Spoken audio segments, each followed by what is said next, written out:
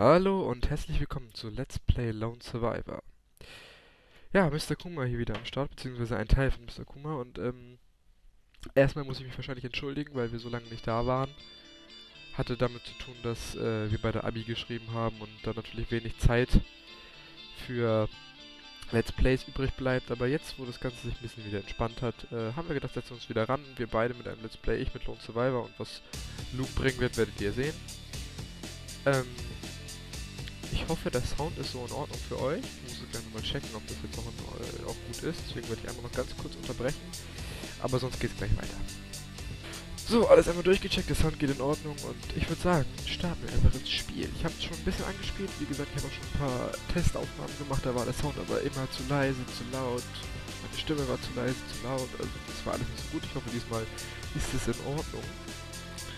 Und ich würde sagen, wir starten einfach mal das Spiel. Das könnten wir natürlich nicht benutzen, wenn wir ein neues Spiel starten.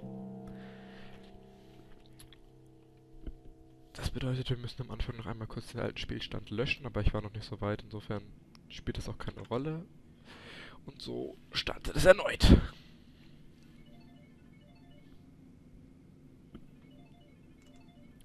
Mein Name ist nicht mehr wichtig, denke. Ich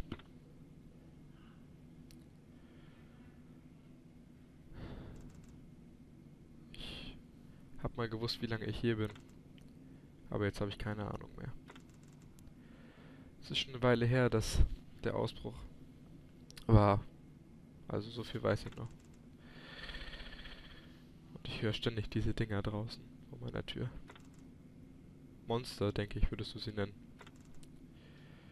Und soweit ich weiß, bin ich der Einzige, der noch übrig ist. Der letzte Überlebende. Aber ich kann nicht länger so weitermachen wie bis jetzt. Hab fast keine Vorräte mehr. Und wenn da irgendwer noch außer mir draußen ist, muss ich sie finden. Denn ich möchte nicht alleine sterben.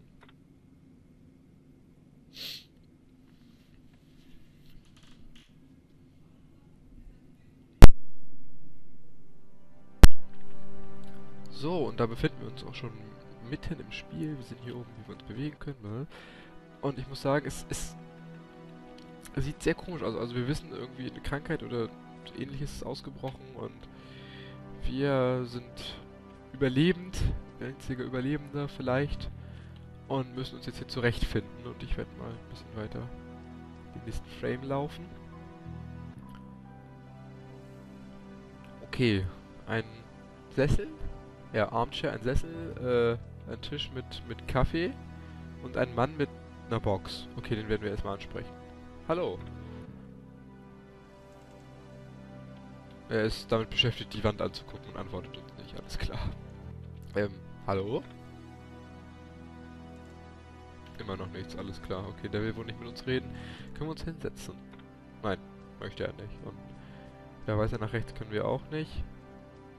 Zurück können wir auch nicht. Das heißt, wir können nur noch was mit dem Kaffee machen. Sieht aus wie ein doppelter Espresso. Ja, den genehmigen wir uns doch mal. Ah, sehr schön. Und das Licht verschwimmt. Ich glaube, ich kann da hinten was hören.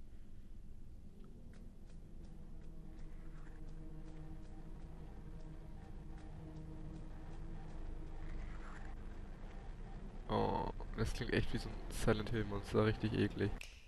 Ja, und... Oh, was passiert hier? Ja, schön. Ich hasse sie. Oh, hör auf, den Kopf so zu bewegen. Geh weg. Ich kann mich nicht bewegen. Geh weg.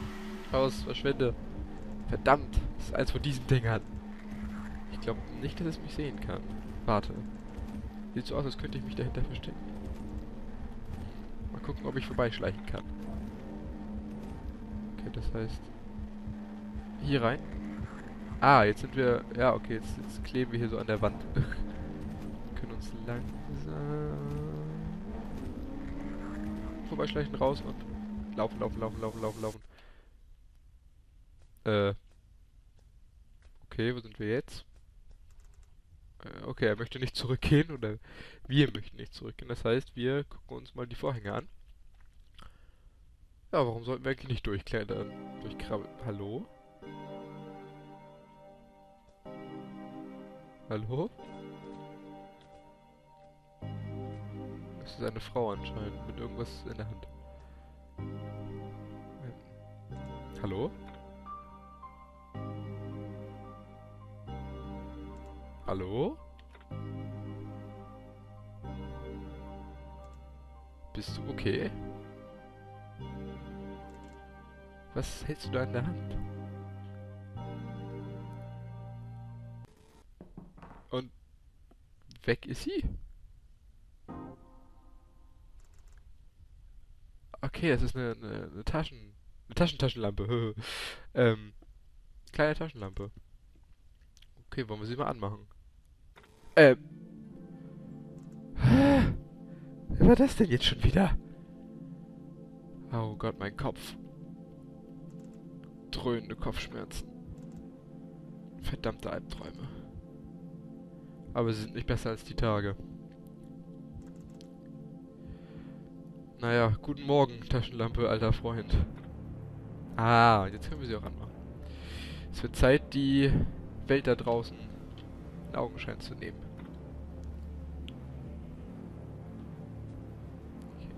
Ja, okay, also das scheint unser Zimmer zu sein. Denke ich mal.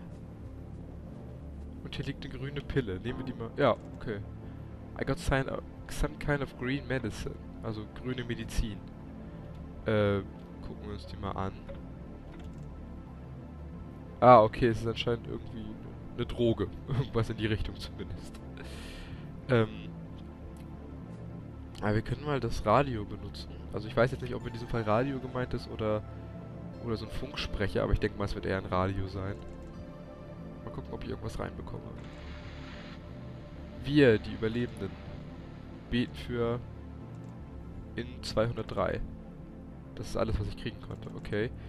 Ähm, vielleicht sollte ich wirklich für 200, also zum Zimmer 203 gucken. Vielleicht ist jemand da drin noch am Leben. Ja, das kann natürlich sein, dass da jemand noch lebt. Oder aber das ist eine, eine, eine dauerhafte, Auf also eine Tonbandaufnahme, die immer wieder abgespielt wird und die sind alle trotzdem schon tot. Ja, wir werden es ja vielleicht sehen. Gucken wir mal ins Tagebuch. Lass uns mal reinschauen. Nichts Aufregendes ist heute passiert. Ich habe probiert, ein Insekt zu essen, das ich gefangen habe, aber es hilft nicht. Und da ich alleine bin, äh, muss ich jetzt auf mich selbst aufpassen und da rausgehen. Ich muss eine Waffe finden, am besten irgendwas mit äh, hoher Reichweite. Those Sons of Bitches, also diese Hurensöhne, sind zu gefährlich, wenn man ihnen zu nahe kommt. Und ich möchte nicht, dass ihre komische Krankheit auf mich überspringt. Und wenn ich diese Waffe finde, kann ich vielleicht was zu essen besorgen. Oh, und äh, ich habe mich übrigens erinnert, wo der Schlüssel liegt. Er ist auf dem Sofa im Wohnzimmer. Aber ich weiß nicht, wo der Schlüssel für ihr Schlafzimmer ist. Das war der letzte Eintrag. Okay. Hat uns jetzt insofern weitergeholfen, als dass wir wissen, die Viecher, die wir eben schon gesehen haben, also ich denke mal, es werden immer noch die sein, sind gefährlich. das ist auch immer gut zu wissen. Und, ähm, es liegt ein Schlüssel im, im äh, Wohnzimmer. Wir gucken erstmal hier auf die Tür. Ähm, dieses werde ich jetzt überspringen. Ich weiß noch vom Anspielen, dass da die, die Controls drauf markiert sind und die muss ich mir jetzt ja nicht nochmal alle durchlesen. Ähm, wir können die Feuerleiter benutzen. Nein, können wir nicht benutzen, weil sie zu ist. Okay, wir brauchen einen Schlüssel für die Feuerleiter. Gehen wir hier erstmal raus. Ähm, ich denke mal, hier können wir die Flashlight auch nochmal ausmachen, die Taschenlampe. Wir gucken uns dann mal die... Eine, eine Batterie. Ja, wahrscheinlich für die Taschenlampe. Ist ja gut, dass ich den ausgemacht habe. Okay, also... Taschenlampe an. Und einmal nachgucken. Aber er ist noch bei 100%, also ich denke mal noch wird da nichts runtergehen. Gucken wir uns mal das Gemälde an. Es ist so verschwommen, es muss hier schon eine lange Zeit hängen. Ja gut, wenn, Ich weiß nicht, ob das unsere Wohnung ist, aber wenn das unsere Wohnung ist, ist es so klar. Man lässt ja Bild nicht nur einen Tag hängen, sondern natürlich länger. Gucken wir uns mal den Mantel an. Wir wissen nicht, wessen Mantel das ist. Und auch nicht, wessen Schuhe das sind, also... Vielleicht doch nicht unsere eigene Wohnung. also das ist, denke ich mal, die... Hier sind noch drei Türen. Ich gucke mir aber erstmal den Spiegel an. Wir können ihn verlassen, aber wir gucken dann natürlich rein. Halt, die sehen nichts Besonderes. Moment. Äh, verschwommener Bildschirm. Es fühlt sich an, als ob es probiert, mich zu einem anderen Ort hinzuführen. Aber es weiß nicht, äh, wo dieser Ort sein soll. Mhm. Mhm. Interessant. Kommen wir denn hier rein? Nein. Das lockt er nicht. Okay, also wir brauchen dafür einen Schlüssel. Das dürfte dann wahrscheinlich das Schlafzimmer sein. Gucken wir mal hier rein.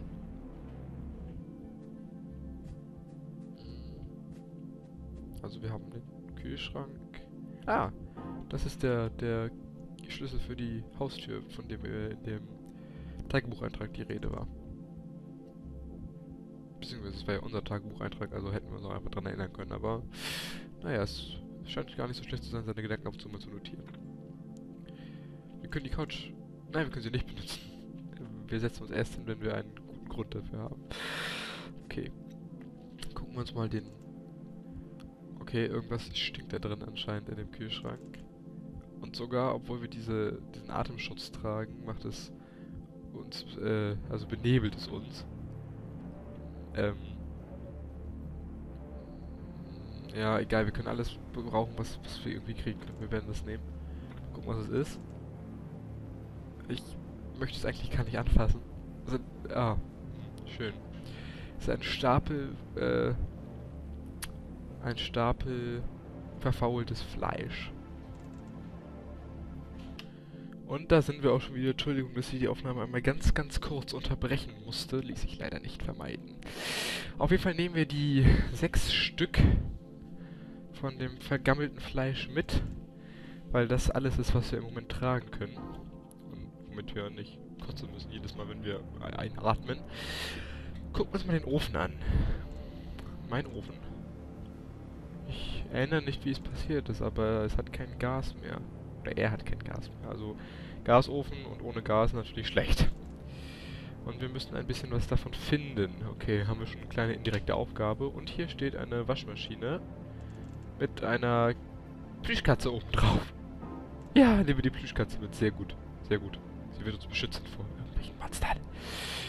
Ähm. Will ich mir jetzt angucken. Oh, ich kann mit ihr reden. Sleepy Cat? You are so special and precious. Ja, du bist so wunderbar und, und wunderschön und überhaupt. So, äh, mehr können wir glaube ich nicht tun. Ich denke mal, das ist die Haustür. Ja, es ist die Haustür. So, den Schlüssel brauchen wir nicht mehr. Und bevor wir rausgehen, sollten wir auf jeden Fall einmal noch schlafen gehen, damit wir nicht völlig erschöpft sind. Ähm, schlafen wir einmal, befinden uns, Entschuldigung, in Tag 2 und das Game ist gesichert. Und wir fühlen uns natürlich jetzt ein bisschen besser. Der Kopf tut zwar wie immer weh, aber das ist es auch schon so. Und dann wollen wir uns mal hier rausbewegen.